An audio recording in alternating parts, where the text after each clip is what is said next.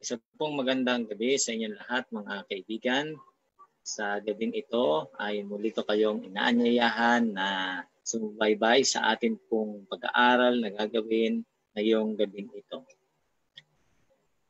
Welcome ko po ang atin pong mga kaibigan na nasa Zoom app at ganun din po sa uh, Facebook live streaming. Sa amin po mga kaibigan na patuloy na nanonood at sumusubaybay sa atin pong pag-aaral na ito. Ang uh, isa pong magandang gabi sa inyong lahat at uh, dahil sa ngayon ay isang napakahalagang araw ng Panginoon, akin po kayong binabati rin ng isang maligayang araw ng uh, kapahingahan. Kaya sa pagkakataong ito, nais ko pong uh, anyayahan kayo na tayo po magpatuloy sa atin pong pag-aaral sa gabing ito at atin pong pagpapatuloy ang atin pong uh, programa ngayong gabi sa pamagitan po ng pag-awit ng atin pong uh, team song ang uh, ligaya ng buhay kung kilala mo si Kristo.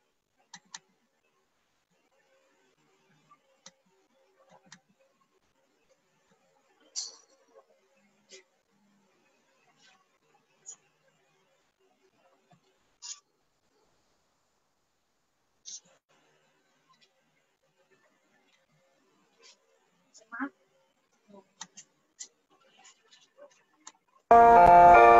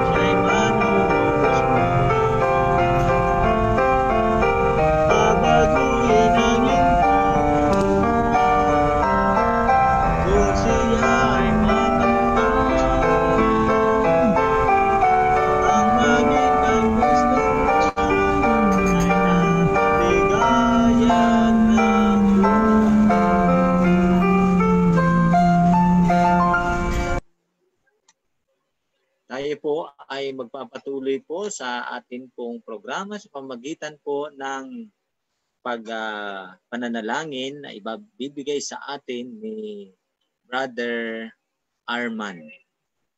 Oh, wala po si Brother Arman, kaya uh, si Brother Jonathan uh, Kapilitan ang uh, muna sa atin. Narinig mo ko, Pastor? Tayo po yung manalangin. Dakila po namin Diyos Ama. Kami po ay narito ngayon sa gabi ito. Kami po ay malapit sa iyo sa so, kita ng panalangin sa aming programa po ngayon sa pagpatuloy nito Ama sa araw po ng uh, bisperas ng inyong uh, araw ng Sabat. Uh, kami po ay uh, sumasamo sa inyong banal na espiritu na kasihan kami Ama, bawat isa sa amin upang ihanda kami sa pakikinig ng iyong mga banal na salita na ibabahagi po sa amin ang aming buting pastor na si Pastor Redante Honorica. Kaya nawa Ama ay mag uh, kaloob sa amin ng inyong mga pakinig pang ito po ay uh, maipasok sa amin mga puso, mga isipan pang magiging inspirasyon namin ito Ama sa aming patuloy na uh, paglilingkod sa inyo bilang inyong mga anak. At nawa Ama, kayo ay magkalob sa amin pa ng kalakasan sa aming pananampalataya sa inyo. Kung saan Ama, sa mga pagsubok na dumating ay kami po. Amin po itong ma, uh, lagpasan. At gayon din po Ama, nawa uh, kayo ay magpapala bawat isa sa amin uh, nakikinig ngayon sa aming buting pastor. At uh, patawarin niyo nawa. Sana kami, bawat isa sa amin, sa anumang pagkukulang namin naman, sa may uh, lihim mo hayag. Sa pangalan po ng inyong anak na Jesus. Amen.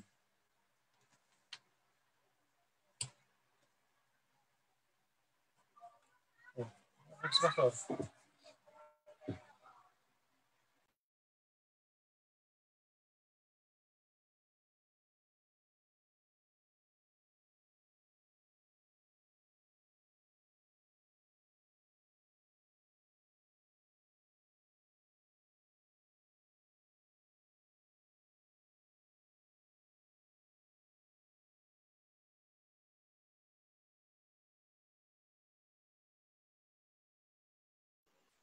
tungkol sa uh, pagliligtas. Sinimulan natin ang ating pag-aaral na atin pong natunghayan ang tungkol sa naging kalagayan natin bilang mga makasalanan. Kaya kailangan natin ng tagapagligtas. Kaya ngayon ay nagpapatuloy po tayo sa atin pong pag-aaral na ito na ang uh, salita ng Diyos ay patuloy nating pag-aaralan upang atin pong makita ang napakahalagang panukala ng Diyos pagdating sa kaligtasan na kanyang pinagkaloob.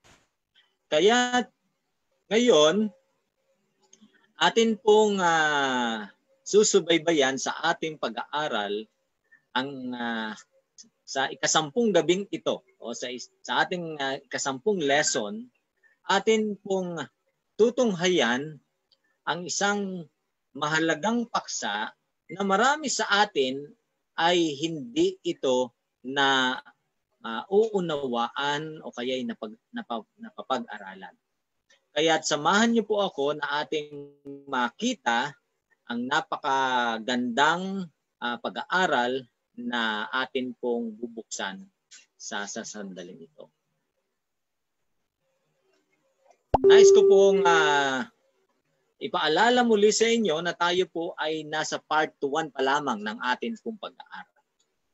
At sa atin pong uh, sa, oh, sa gabing ito, ito po yung pagtatapos ng ating part 1. Tayo po ay pang-sampung lessons na sa pagkakataong ito. Kaya uh, samahan niyo po ako na atin pong subaybayan ang atin pong pag-aaral ngayon. Kung uh, makikita ninyo, ang uh, ating paksa ay may pamagat na dalawang tipan. O sa English ay two covenants. Ngayon, kung makikita natin, inilalarawan ng Biblia ang dalawang magkasalungat na paraan ng kaligtasan. At ano ang dalawang ito? Ang una ay nakabatay sa pangako ng tao at at ang kanyang mga gawa. At ang habang ang pangalawa naman ay batay sa pangako ng Diyos at sa kanyang mga gawa. So ano pong magkaparehas dito? Pangako at gawa. Ang una ay sa tao, ang ikalawa ay sa Diyos. Ang isa ay ang isa ay ang kaligtasan sa pamamagitan ng gawa ng kautusan, habang ang isa naman ay kaligtasan sa pamamagitan ng biyaya lamang. Ngayon, ngayong gabing ito, atin pong pag-aaralan ang bagay na ito. Sapagkat ang lumang tipan ay unang ipinakilala sa mga Hudyo sa panahon ng Eksodo o yung paglabas nila doon sa Ehipto. Ang tipang ito ay isang kontrata o isang kasunduan sa pagitan ng Diyos at ng tao. Sa kontratang ito o sa kasunduang ito, isinulat ng Diyos ang kanyang kautusan. Lalong-lalo na ang sampung utos. At sa kanyang pakikipagkasundo, pumayag ang mga Hudyo na sundin ang lahat ng mga ito nang ibigay ng Diyos ang kanyang kautusan sa mga Hudyo ng Exodo at pumasok sa lumang tipan, ito ang dapat nating tandaan mga kaibigan.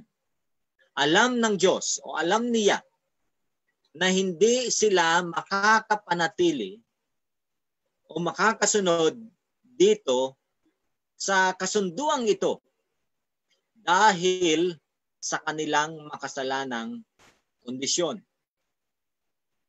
Ngunit alam natin na ang naging tugon ng mga tao sa pakikipagtipan ng Diyos sa kanila ay walang iba kundi uh, sumun uh, sila ay sumang-ayon at pagkatapos ay nagpahayag ng pagsunod. Kaya ating subaybayan ngayon upang ating maunawaan ano nga ba ang nilalaman ng uh, mga tipang ito at ating unawain sa pamamagitan ng pagpapatuloy natin sa ating pag-aaral. Paano tumugon ang mga Hudyo nang marinig nila ang aklat ng tipan? Ano naging sagot ng bansang Israel sa pakikipagtipan nila ng Diyos sa kanila? Mabasa natin sa Exodo chapter 24, 24 talatang 7. At ganito ang sinabi, sinasabi sa atin kinuha rin niya ang aklat ng kasunduan o aklat ng tipan at binasa ito sa mga tao. Ano yung aklat ng kasunduan? Ito'y walang iba kundi yung sinulat ng Diyos sa dalawang tapyas ng bato. At sumagot ang mga tao, susundin namin ang lahat ng sinabi ng Panginoon. Susundin namin siya. So ano po ang basihan ng uh, unang tipan o yung uh, lumang tipan, ito'y walang iba kundi nakabatay sa pangako ng tao at sa kanyang mga gawa. Ang problema, nakita natin na nang binasa sa harap nila ang, kasundo, ang pakikipagkasundo ng Diyos, lalong-lalo na ang nilalaman ng kanyang mga utos, ang mga tao sa kanilang pagsang-ayon at ng kanila itong gina, sinusunod na, hindi nila nagawa na masunod ang sinasabi ng mga nakasulat uh, sa kasunduang ito. Kaya nagkaroon sila ng problema. Ngayon, bakit kinakailangan na ipakilala ng Diyos ang bagong tipan? Kung siya may pakikipagtipan ng ginawa, bakit kailangan niya pang ipakilala ang bagong tipan? Atin pong alamin ang uh, katugunan sa uh, magandang katanungang ito. Sa aklat ng Jeremiah, Jeremias 31, talatang 31 at 32. Ganito ang sinasabi sa atin. Sinabi pa ng Panginoon, darating ang panahon na gagawa ako ng bagong kasunduan sa mga taga-Israel at taga-Huda. Ano po ang sinabi ng Diyos? Darating ang panahon. At ano ang uh, patuloy na sinabi sa atin? At hindi ito katulad ng unang kasunduan, unang-unang pipan. At uh, ito lang po ay paglinaw para maintindihan nyo. Pag binanggit na kasunduan, ito yung tipan. Ano po ulit ang sinasabi? Hindi ito katulad ng unang tipan o kasunduan na ginawa ko sa mga ninuno noong pinapatnubayan ko sila sa paglabas sa Ehipto. Hindi nila tinupad ang una naming kasunduan.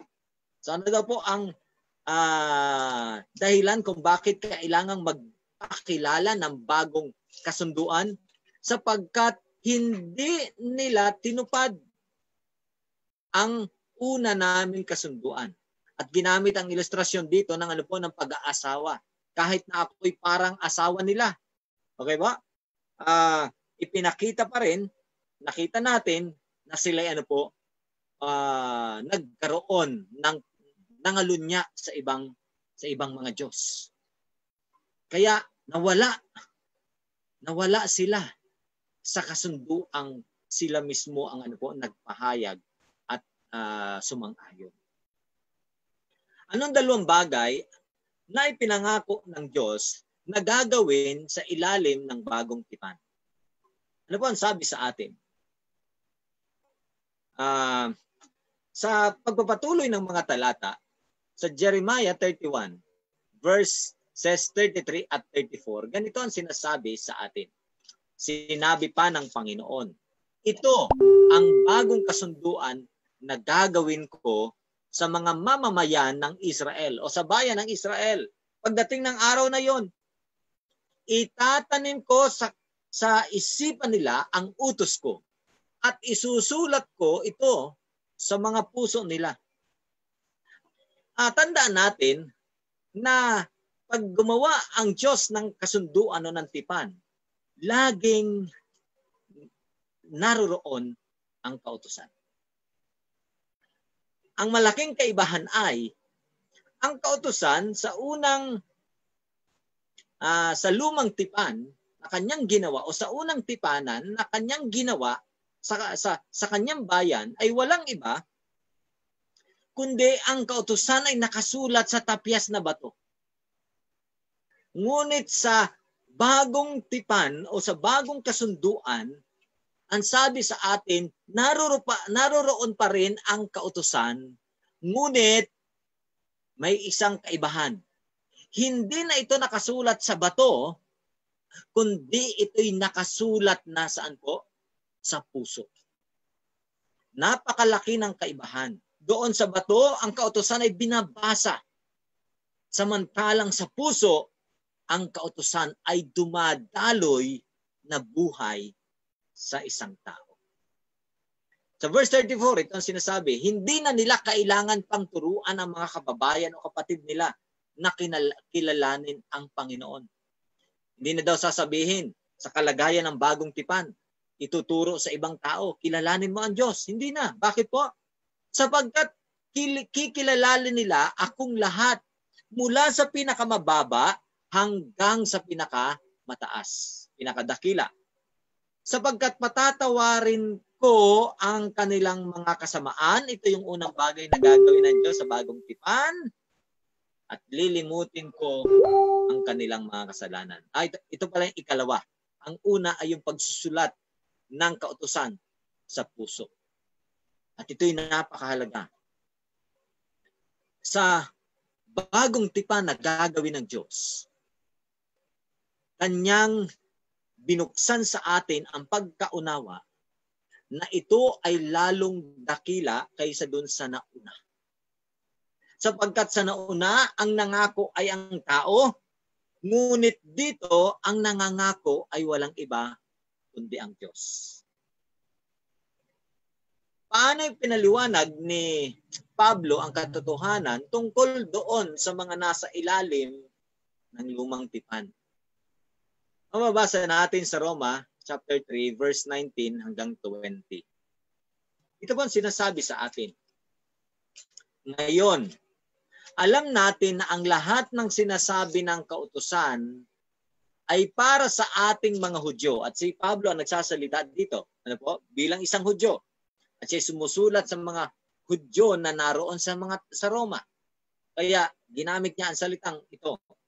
O uh, sinasabi ang kautusan o alamin natin na ang lahat ng sinasabi ng kautusan ay para sa ating mga Hudyo na namumuhay sa ilalim ng kautusan. Para walang maidahilan ang sino man na hindi siya dapat parusahan. Bakit po? Sapagkat ang mga hintil, ang hindi Hudyo, at ang mga Hudyo ay pareho lang ang katayuan sa, sa harap ng Diyos. At ang sabi sa atin, lahat ng tao sa mundo ay mananagot sa Diyos. Bakit mananagot? Sapagkat, ano po, nagkasala. At kung mabasa natin sa talatang 23, ang sabi po, lahat ay nagkasala nga at hindi nakaabot sa kalwalatian o dun sa sukatan ng uh, Panginoon. Ngayon, sa verse 20, ito ang sinasabi, sapagkat walang sino man uh, ang ituturing ng Diyos na matuwid sa pamamagitan ng pagsunod sa kautusan. Ano ang makikita natin sa pagsunod sa kautusan? Simple lamang. Ipinapakita ng kautusan sa tao na makasalanan siya. At ito lamang ang tanging nag-iisang bagay na magagawa ng kautusan sa lahat ng makasalanang taong haharap sa Kanya. Kahit pa napakabuti ng ating intensyon na sundin ang kautosan, ang kautosan ay magpapakita lamang sa atin na tayo ay mga makasalan. Kaya nga, sa unang tipan, nagkaroon ng ano po, ng uh, paglimot o sabihin natin ay pagkawala o hindi pagsunod sa tipan. Sapagkat ito'y pangako ng tao na hindi niya kayang gawin. Ngunit sa bagong tipan, ito ay pangako ng Diyos at ang kanyang mga gawa o mga ginawa. Bakit ang tanging pag-asa natin sa kaligtasan sa pamamagitan ng katwiran, sa pamamagitan ng pananampalataya. Bakit? Yun lamang kaligtasan na yon sa pamamagitan ng katuwiran ni Kristo na ito'y matatanggap natin sa pamamagitan ng pananampalataya. Ito ang sinasabi sa atin.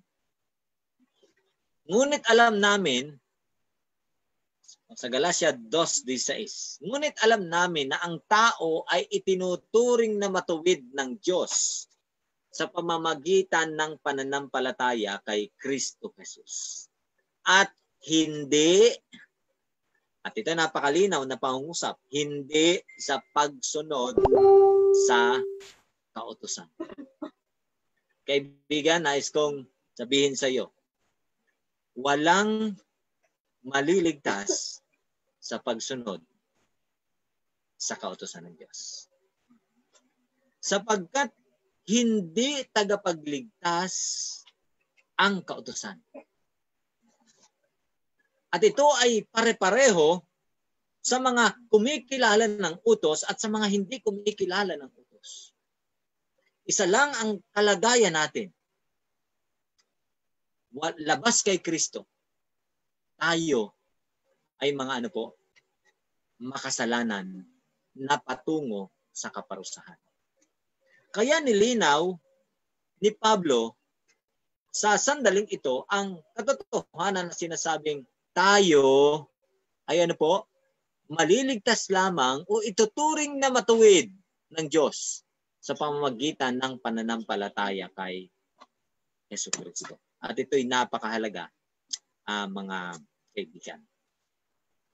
Patuloy ng talata, ang sabi, kaya nga kaming mga Hudyo ay sumasampalataya rin kay Kristo Jesus para maituring na matuwid sa pamagitan ng pananampalataya at hindi dahil sa pagsunod sa kautusan sapagkat walang sino mang maituturing na matuwid sa pamamagitan ng pagsunod sa kautusan.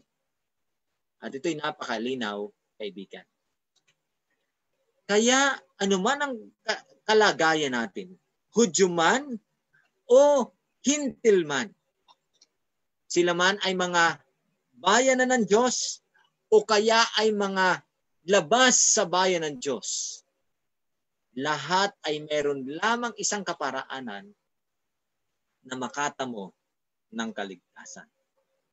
Sapagkat ito ay tinakda na ng Diyos sa pasimula pa, bago pa ang paglalang, na tayo ay maligtas sa pamagitan lamang ng biyaya ni Kristo. Ayon kay Pablo, ano ang kinatawan, kinakatawan ng dalawang anak ni Abraham at kanilang mga ina? So, balik po tayo ng kaunti sa Bible history. At ano sinasabi sa atin? Dalawang anak ni Abraham. Sino-sino ang mga ito? Si Ishmael, ang anak ni Abraham kay Hagar, sa panahon na hindi pa uh, tinutupad ng Diyos ang kanyang pangako, gumawa ng paraan si Abraham. At walang iba kundi si, sino po yung isa? Si Isaac na anak ni Sarah. Ito ang anak ng pangako. Basahin natin sa Galatia Kapitulo 4, talatang 22 hanggang 26. Ganito ang sinasabi. Sinasabi roon na may dalawang anak si Abraham. Ang isang anak niya sa kanyang alipin na si Hagar at ang isa naman ay anak niya sa asawa niyang si Sarah. Ang kanyang anak sa alipin ay ipinanganak ayon sa karaniwang panganganak.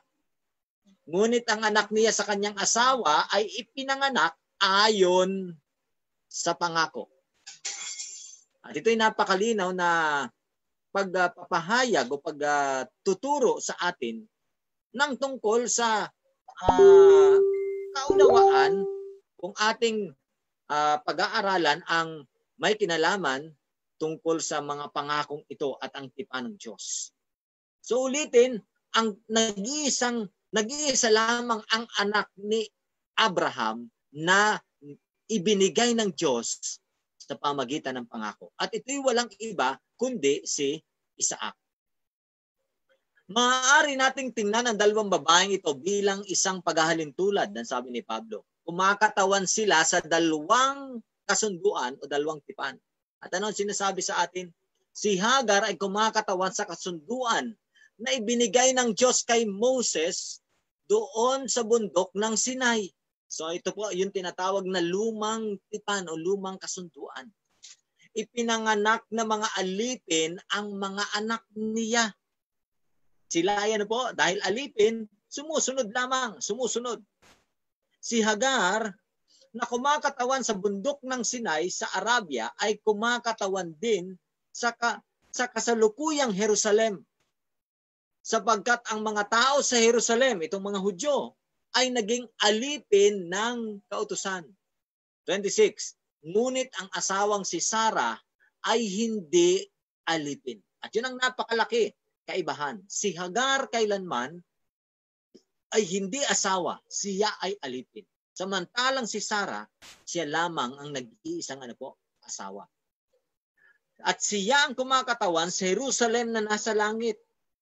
At siya ang ina, ang ating ina, dahil hindi tayo alipin ng kautusan.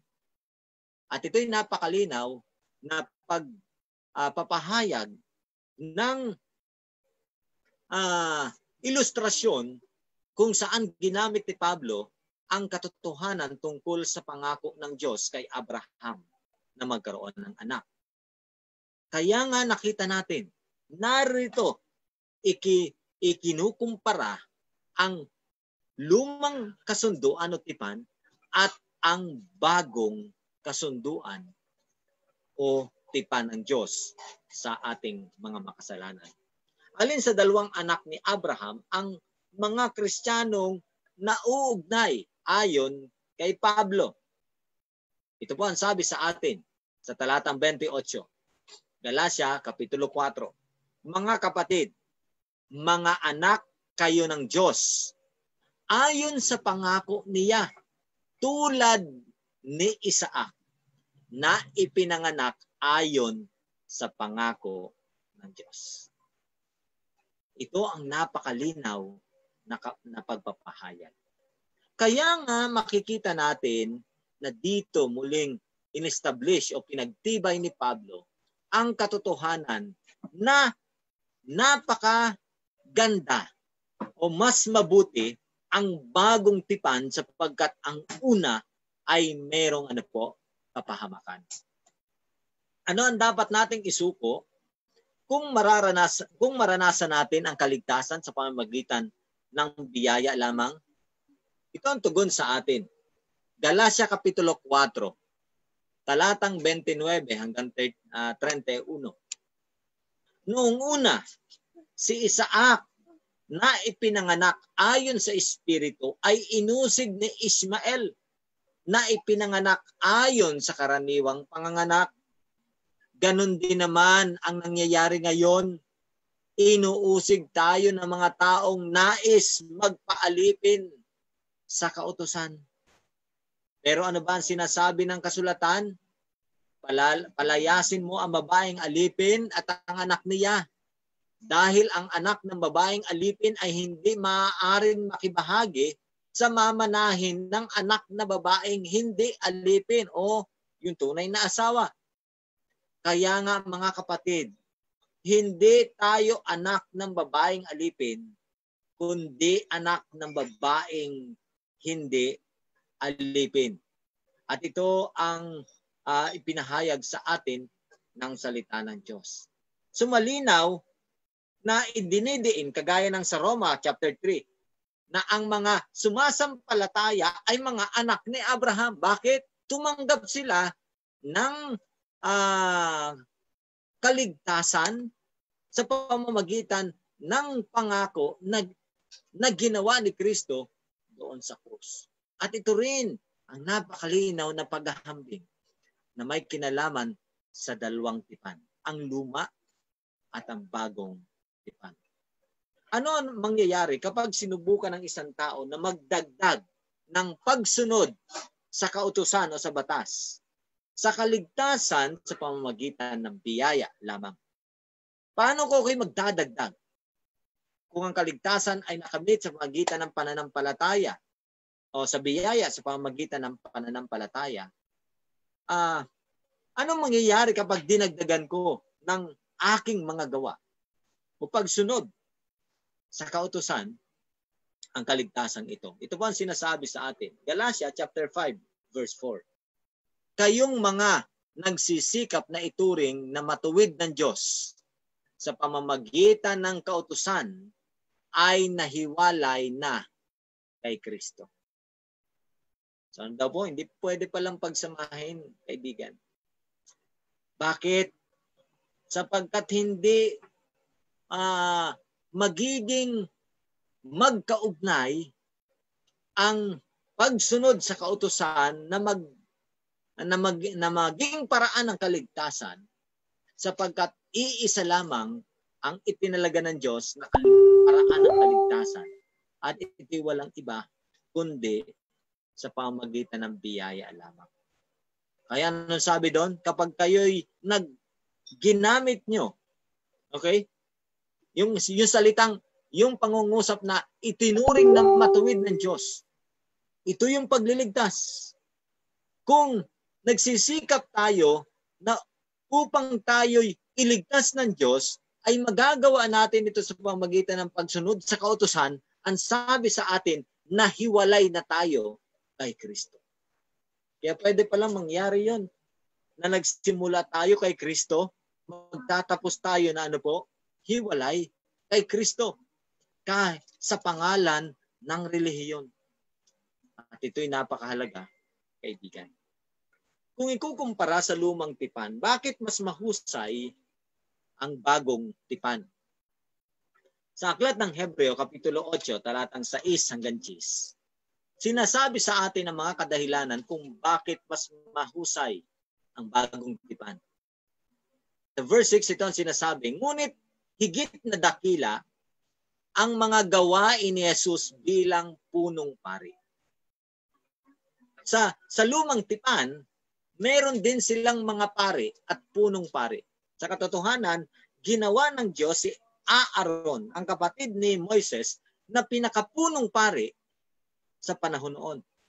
At mula sa lahi ni Aaron, doon tumawag ng Diyos ng mga ano po, pari at mga punong pari. Pero ang sabi sa atin, higit na dakila ang gawain ni Jesus bilang punong pari kaysa sa mga gawain ng mga pari. Dahil siya o si Jesus ang tagapamagitan ng isang kasunduang higit na mabuti kaysa sa nauna. Bakit siya naging tagapamagitan? Sapagkat siya ang isinugo ng Diyos sang-ayon sa kanyang pangako na magiging alay na sakripisyo sa katubusan ng kasalanan ng sanlibutan. Siya yung mamamatay. Tandaan natin sa bawat sa bawat uh, kasunduan na ginagawa, lalong-lalo na sa mga kasunduan o tipan na ginawa ng unang panahon, laging may kasamang ano po, dugo. Winiwisik ka ng dugo. Ibig sabihin, mayroong namamatay. At yung dugo ay winiwisik doon sa tipan na, o kasunduan na kanilang ginawa. Nang ang Diyos ay makipagkasundo sa Israel pinatay ang ano po ang isang hayop at ang dugo nito iwinisik doon sa aklat ng kasunduan o tipan. At ito'y napakahalaga. Kaya nga makikita natin na mas dakila pa ang gawain ni Jesus. Bakit? Siya ang tagapamagitan, siya ang alay, siya ang punong pare. Kaibigan. Verse 7 ang sabi, kung walang kakulangan ang unang kasunduan, hindi na sana kailangan pang palitan. So naaalala niyo po kanina sa naunang uh, uh, pag uh, pagbasa natin ng talata, yung kadahilanan bakit kailangang ipakilala ang bagong ang bagong uh, tipan sapagkat merong kakulangan yung ano po unang tipan. Kung hindi sana may kakulangan, hindi ito kailangan palitan. Magpapatuloy lang ito sa kanyang ano po, uh, uh, kapangyarihan o pananatili. Ngunit nakita ng Diyos ang pagkukulang. Hindi doon sa tipan. Ano po? Kundi doon sa mga taong sumusunod sa unang kasunduan. Bakit? Sila na ang nangako, sila pa ang tutupad doon sa kanilang pangako. Ang problema, may kasabihan tayong mga ta, uh, ano po tayo na uh, marami sa mga mga pangako na ating ginagawa at sinasabi ano po, napapako. Hindi nangyayari, hindi sinusunod. Kaya nga nakita natin ang pangangailangan ng bagong tipan o kasunduan. Bakit po? Ito ay hinalaw sa aklat ni Jeremiah. Kaya't sinasabi niya, darating ang panahon na gagawa ako ng bagong kasunduan sa mga taga-Israel at taga-Huda. Hindi ito katulad ng kasunduang ginawa ko sa mga ninuno nila nung akayin ko silang palabas sa Ehipto. Hindi nila sinunod ang unang kasunduang ibinigay ko sa kanila. Kaya pinabayaan ko sila. Sabi pa ng Panginoon, ito ang bagong kasunduan na gagawin ko sa mamamayan ng Israel o sa bayan ng Israel pagdating ng araw na yon. Itatanim ko sa isipan nila ang mga utos ko at isusulat ko ang mga ito sa kanilang mga sa puso nila. Ako ang magiging Diyos nila at sila naman ang magiging bayan ko. Kaya nga ngayon napakalinaw na inilahad sa atin ni Pablo ang tungkol sa pangangailangan ng bagong tipan. At itong isa sa pinakamaganda. Bakit? Sapagkat hindi lamang kasama ang pagpapatawad ng kasalanan, kundi ang paggawa na ang kautusan ay ilalagay, ang prinsipyo ng kautusan ay ilalagay sa ating puso upang ito'y kusang, ano po, kusang maging bahagi ng ating sistema. At susundin natin ito sang-ayon sa ipinapahayag ng ating kalooban. Paano inihambing ni Pablo ang kautusan sa kanyang sarili bilang isang makasalanan? Ano ang sabi po sa atin sa Roma 7, talatang 14? Alam natin na ang kautusan ay mula sa banal na espiritu. Ngunit makamundo ako at alipin ng kasalanan. Kaya kung makikita natin, ang pagkukumparang ito ni Pablo sa kanyang sarili, sinasabi niya, walang depekto sa kautusan. Yung kautusang isinulat sa tapyas na bato. At yung kautusang isinusulat sa puso, sa bagong tipan, ay parehong kautusan lang. Walang ibang kautusan. Ang kaibahan ay ito. Ano po? Yung kautusan na yon ay banal. Yung kautusang isinusulat sa puso ay banal. Ang may problema ay ano po? Yung nangako at yung dapat sumunod. Sapagkat hindi sila banal, sila ay makasalanan. Kagaya din lamang ng nakita at naunawaan ni Pablo. Ako'y makasalanan. Alipin ng kasalanan. Kapag nakilala at naniwala tayo kay Jesus, ano ang gagawin ng katotohanan para sa atin? Ngayong naririnig natin ang Ibanghelyo. Ngayong naririnig natin ang kapahayagan ng salita ng Diyos na sinasabi ang tungkol kay Jesus at ang pagliligtas na kanyang ginawa. Ano ang gagawin ng katotohanan ito sa ating buhay? So Juan chapter 8, verse 31 at 34, ito ang sinasabi sa atin. Sinabi ni Jesus sa mga Hudyong sumasampalataya sa Kanya, Kung patuloy kayong susunod sa aral ko, totoo ngang mag totoo ngang mga tagasunod ko kayo malalaman ninyo ang katotohanan. At ang katotohanan ang magpapalaya sa inyo. Ano po ang malinaw na sinabi sa atin? Kapag nalaman ang katotohanan, ang katotohanan ang magpapalaya sa inyo. Sumagot sila kay Jesus. Nagmula kami sa lahi ni Abraham at kailan may hindi kami naging alipin ng sino man. At totoo, yung bagay na yon Ngunit ang problema nga ay hindi dahil kay Abraham o sa pangako kay Abraham, kundi yung mga taong uh, nanggaling kay Abraham na may kakulangan pagdating sa ano po, pagtupad ng pangako. Bakit sinasabi mong palalayain kami? Sabi ng mga Hudyo, nakausap ni Jesus. Sumagot si Jesus at sinasabi, uh, sumagot si Jesus, sinasabi ko sa inyo ang totoo. Ang sino mang nagkakasala ay alipin ng kasalanan. So ang sinasabi ni Jesus dito, na palalayain ng katotohanan ay walang iba kundi ang spiritual na kalagayan. Ang mga Hudyo sa panahon ni Jesus, naiisip lamang nakikita nila yung kanilang ano po, uh, literal na kalayaan mula sa pagkaalipin sa mga sumakop sa kanilang ibang bansa. Kaya malinaw na ipinahayag ni Jesus, ang sino mang nagkakasala ay alipin ng kasalanan. At kung tayo alipin ng kasailangan, ang kailangan natin ay kalayaan. Kalayaan mula sa pagiging alipin ng kasalanan kagaya ng Israel sa panahon nang sila'y naging alipin doon sa Exodus, sa Ehipto. Ngayon, sino ang katotohanan na magpapalaya sa atin? Ito ba'y mga salita lamang ang katotohanan ito? o mayroon pang iba na ipinapahayag sa atin? Sa talatang 36, ito ang malinaw na idiniin ni Jesus.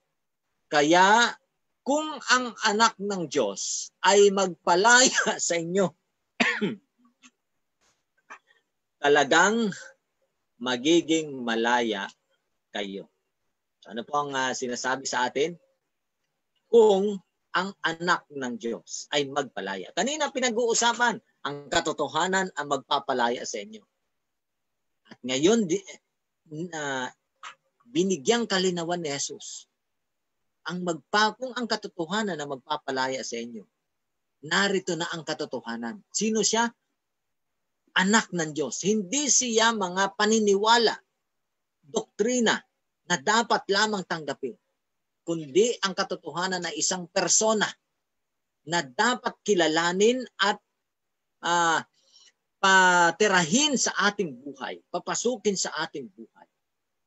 Sa Juan 14.6, malinaw na ipinahayag ni Jesus kung sino siya. At ang sabi sa atin, ako ang uh, daan, ako ang katotohanan, at ako ang buhay, ang sabi ni Jesus.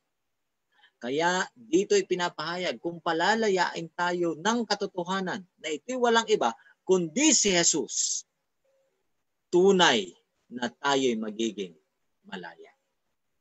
Bakit ang bansang Hudyo noong panahon ni Pablo ay nabigong maka, makakuha ng katuwiran o makaabot sa katuwiran na uh, ipinangako ng Diyos sa kanila. Tandaan natin na ang bansang Israel ay napakaraming uh, advantage na ibinigay ng Diyos para sa kanila. Tinawag silang bayan ng Diyos. Ibinigay sila ang, nila, sa kanila ang kautusan. Ibinigay nang galing sa kanila ang lahi ng tagapagligtas at marami pang iba. Kaya sa bentahing ito, nagkaroon sila ng ano po, ng tinatawag na pride. Pride. Na sila yung mataas na lahi ng tao sapagkat sila ang bayan ng Diyos. Ngunit naiwan na lang sa kanila sa panlabas na ano po, katawagan. Sa Roma 9.30 hanggang 32, ito ang sinasabi. Ano ngayon ang masasabi natin tungkol dito? Ang mga hindi Hudyo, ito yung mga hintil, na hindi na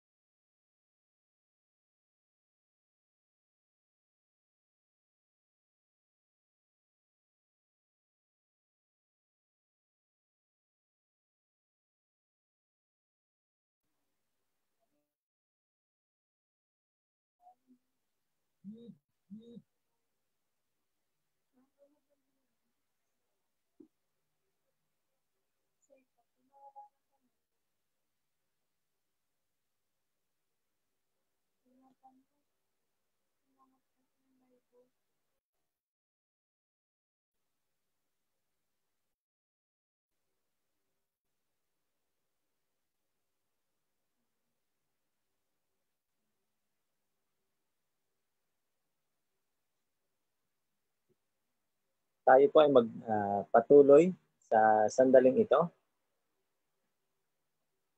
Nagkaroon lamang po ng technical problem sa uh, sa laptop. Ang laptop ko po ay nag-shutdown uh, at nag-restart. Kaya uh, samahan niyo lang po ako. Sa pangkasalukuyan, ang ginagamit ko ay cellphone nawa ay makapagpatuloy tayo sa atin pong uh, sa ating uh, live uh, streaming. Um, pinag-aaralan natin ang tungkol sa uh, ang tungkol sa dalawang uh, tipan na nakita nating ibinigay ng Diyos atin pareho.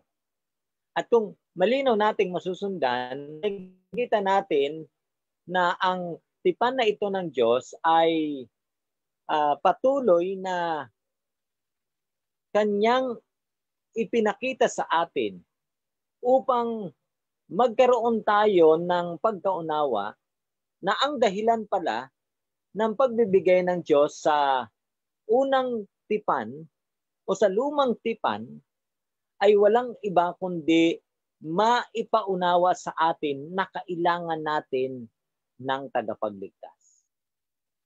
At walang iba, ang kailangan natin ay uh, si Jesus na ito ang ipinapahayag sa atin ng bagong tipan.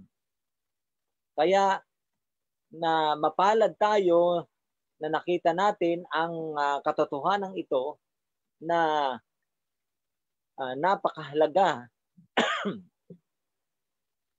na nangyari sa panahon uh, ng ating Panginoong Yesus.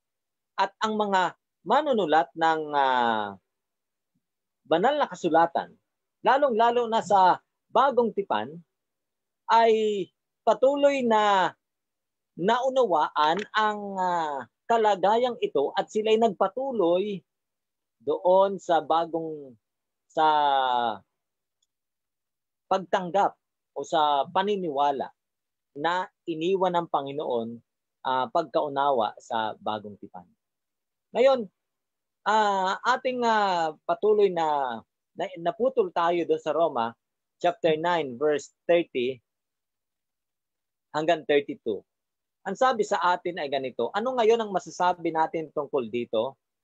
Ang mga hindi Hudyo na nagsikap na maging matuwid ay tinuring ng Diyos na matuwid dahil sa kanilang pananampalataya. So ano pang sinasabi sa atin? Yung mga Hudyo na hindi tinuturing, hindi nila hinahanap na sumunod sa anumang ibang paraan. Kundi narinig lang nila ang uh, Ibanghelyo ni Jesus at ito ang kanilang sinampalatayanan sila ang itinuring ng Diyos na mga ligtas at matuwid. Ngayon, atin pong uh, sundan. Pero mga Hudyo na nagsikap na maituring na matuwid sa pamamagitan ng pagsunod nila sa kautosan ay nabigo. Bakit sila nabigo?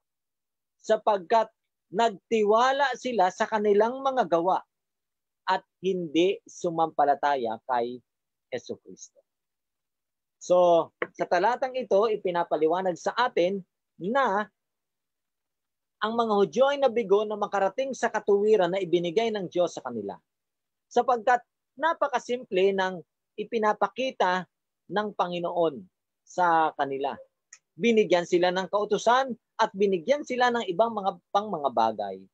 Ngunit nawala sila dahil sa kawalan ng pananampalataya sa darating na tagapagligtas. Lahat lamang ng mga bagay na yon ay nagtuturo doon sa darating.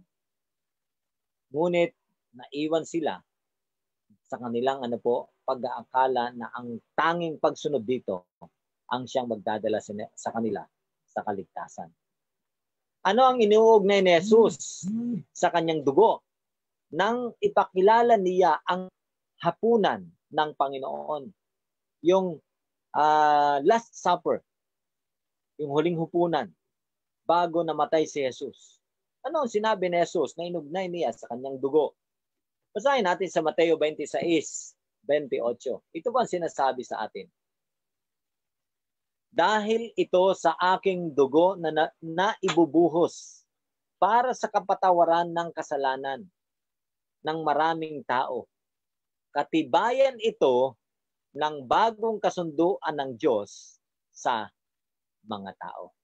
So ano daw po ang uh, yung uh, sumisimbolo doon sa alak, doon sa juice, grape juice, doon sa uh, huling hapunan na ginawa ni Jesus kasama ang kanyang mga alagad. At ang sabi ni Jesus, hindi ko nata- hindi ko tatanggapin o inumin inuman ang sarong ito hanggang doon sa makasama ko kayo sa langit na bayan. Ito ay kumakatawan doon sa dugong nabuhos sa Kalbaryo, kaibigan. Kaya't napakalinaw, napakaganda ng pangako ng Diyos na iniwan sa atin. Bilang resulta ng krus ni Kristo, ano ang inalis ng bagong tipan? Mababasa natin ito sa Aklat ng Roma, Kapitulo 11, talatang 27. Ganito ang sinasabi sa atin, gagawin ko ang kasunduang ito sa kanila. Sa araw na alisin ko ang kanilang kasalanan. Ano po ang napakalinaw sinabi? Gagawin daw ang kasunduang ito, ang bagong kasunduan, tipan, sa araw na aalisin ko, sabi ni Jesus, ang kanilang kasalanan. At kailan nangyari yon? Nang si Jesus ay napako doon sa krus. Kaya kaibigan, ang dahilan ay napakaganda. Ang kanyang ginawa, ang kanyang pangako at ang kanyang ginawa ay lahat natupad sang-ayon sa kasunduan o sa tipan na ibinigay mismo ng Diyos at ginawa niyang ang kanyang anak ang tagapamagitan ng tipang ito.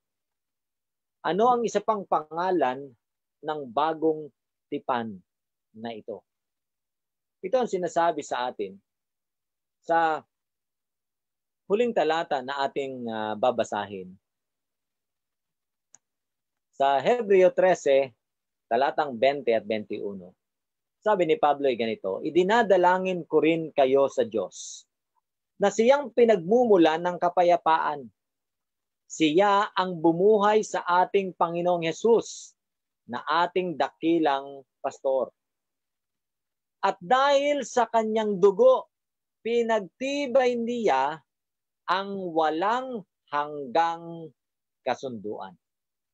So ano po ang sinasabi? Pinagtibay niya, alin? Ang walang hanggang kasunduan. Ito ang tawag sa bagong kasunduan o bagong tipan na ito.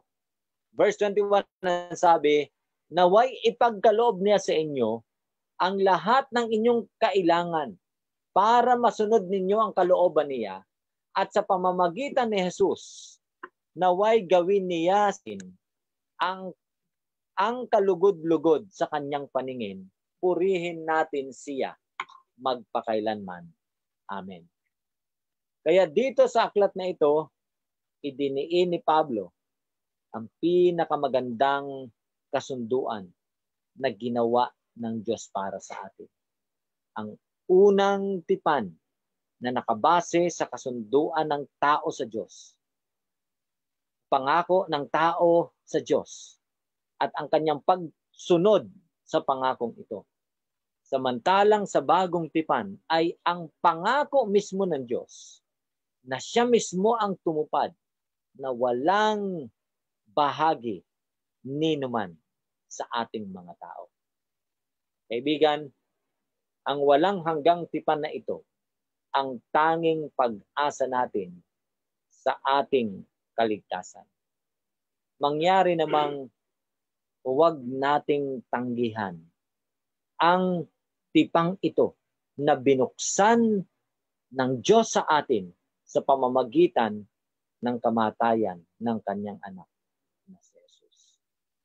Kung sa gabing ito ay inyong pinagpapasyahan ah, uh, na kilalanin pa ng lubusan si Jesus at tanggapin siya sa inyong buhay, maging dahilan nawa na kayo'y makapasok sa tipanan sa bagong tipang itong inihanda ng Diyos para sa inyo upang kayo naman ay makapasok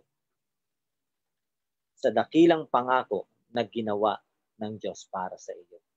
Kaibigan, si Jesus lang ang nangako at lubos na tumupad sa kanyang pangako ng pagliligtas. Kung mayroon pang isang bagay na dapat tayong gawin ay angkinin natin na ang tanging kasunduan na naghatid sa atin sa kaligtasan ay ang kasunduan o ang tipan na ginawa ng Diyos para sa atin. Nawa sa ating pag-aaral ngayon ay mabuksan ang ating isipan na maunawaan natin na tayo ngayon ay nabubuhay sa bagong tipang. Kaibigan, mahal ka ni Jesus at nais niya na ikaw ay masakop sa kasunduang ito na kanyang ginawa para sa iyo. Ito po ang aking dalangin ngayon sa ating mga kaibigang sumusubaybay ay maunawaan na ginawa na ng Diyos ang tipan ng kaligtasan para sa atin. Muli po, magandang gabi at pagpalain kayo ng Diyos sa gabi.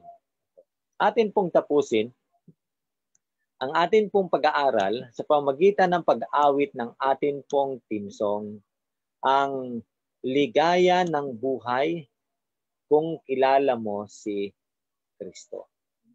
Uh, Siguro po hindi nyo maririnig ang, uh, ang makikita ang atin pong mga lyrics, ngunit uh, maririnig po ninyo ang sound ng atin pong awit. Ligaya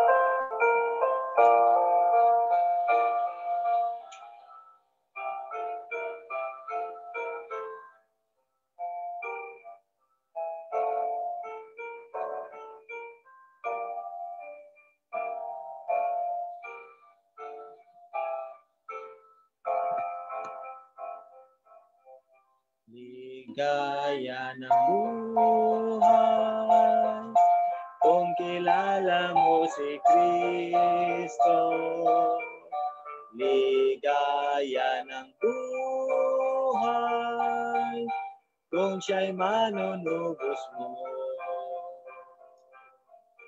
Babaguhin ang iyong buhay kung siya ay makamtan ang maging kay Kristo ay tunay na ligaya ng buhay. Ligaya ng buhay kung kilala mo si Kristo. Ligaya ng buhay kung siya'y manunubos mo babaguhin ang iyong buhay. Kung siya ay makamtan, ang maging kay Kristo ay tunay na ligaya ng buhay. Tayo po'y manalangin sa pagtatapos Dakilang Diyos, salamat po sa inyo ipinagkaloob na pag-aaral na amin pong naunawaan ang inyong napakagandang tipan na inyong ibinagay, lalong-lalo na po ang bagong tipan ng kasunduan, na ito'y inyong ipinangako at ginawa sang-ayon sa inyong kalooban. Pinupurihan namin kayo, Panginoon, sapagkat ngayon nabubuhay kami sa tipang ito kung saan si Jesus ang aming sakripisyo at ang aming tagapamagitan ng tipang ito.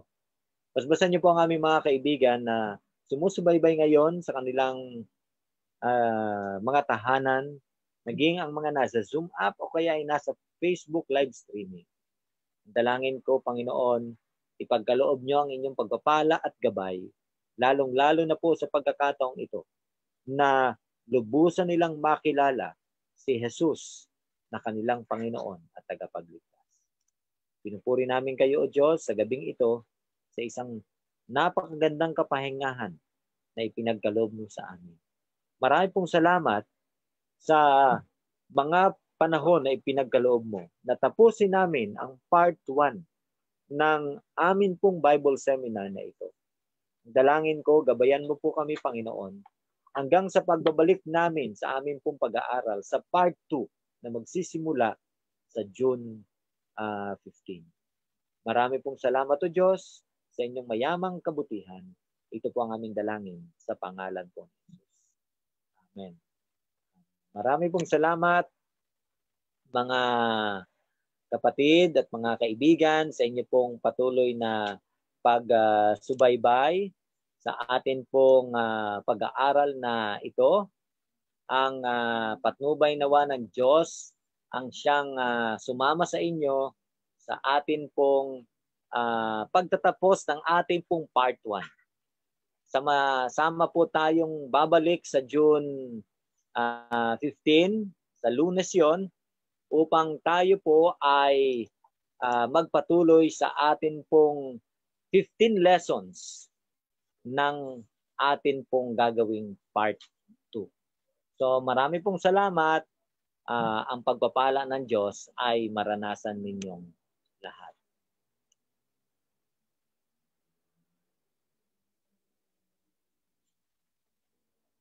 Sa lahat po ng sumusubaybay sa Facebook Live.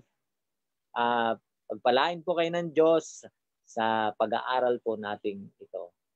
Ang uh, ganon din po sa mga kapatid na nasa Zoom app. Maraming maraming salamat po.